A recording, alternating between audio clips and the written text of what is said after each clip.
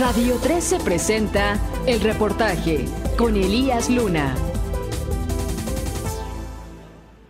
Tropas del Ejército, de la Fuerza Armada de México y de la Secretaría de Marina participaron en el desfile militar de este 16 de septiembre con motivo del 199 aniversario de la independencia de México. Durante la madrugada, los militares comenzaron a llegar a la columna del Ángel de la Independencia, donde partieron hacia el Zócalo capitalino. Desde muy temprano, cientos de familias se dieron cita en las inmediaciones de la Plaza de la Constitución para presenciar el tradicional desfile militar.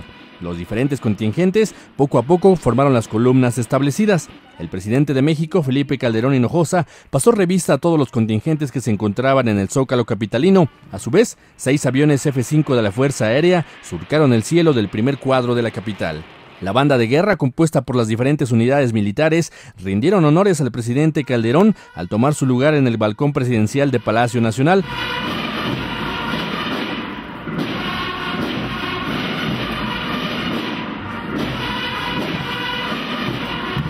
Efectivos de la Brigada de Fusileros Paracaidistas saltaron de un avión militar efectuando una caída libre desde 17.000 pies de altura, sincronizándose en el aire para caer en la plancha del Zócalo capitalino en medio de cortinas de humo de color verde.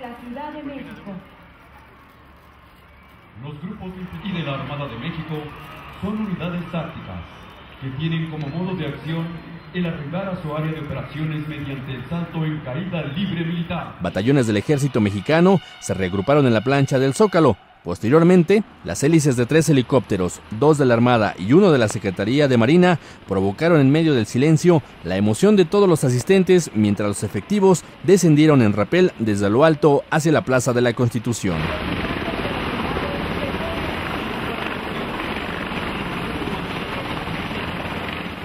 Por primera vez en la historia de la parada militar, portando una bandera monumental, 56 efectivos femeninos de las Fuerzas Armadas abrieron el desfile, seguidas de los cadetes femeninos de las Fuerzas del Mar y el Aire.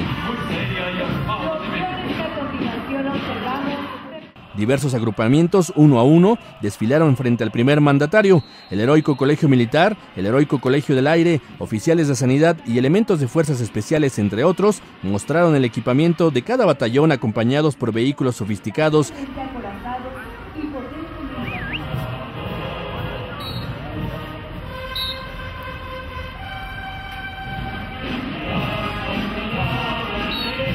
mientras en el aire, aviones F-5 de la Fuerza Aérea que despegaron de la base militar de Santa Lucía en el Estado de México cruzaban el espacio aéreo de la Plaza de la Constitución, seguidos por helicópteros de la Defensa Nacional y los aviones Hércules, los cuales llamaron la atención debido a su gran tamaño.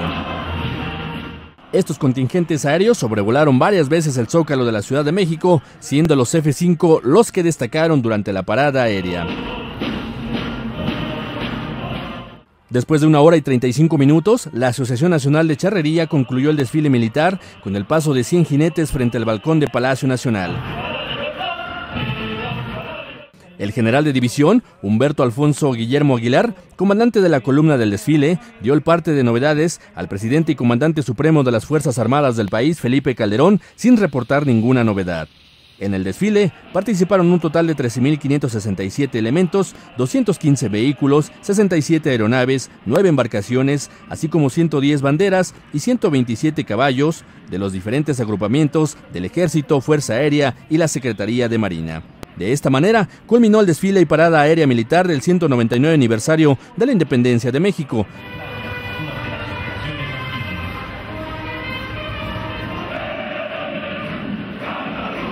Radio 13 Noticias, Elías Luna.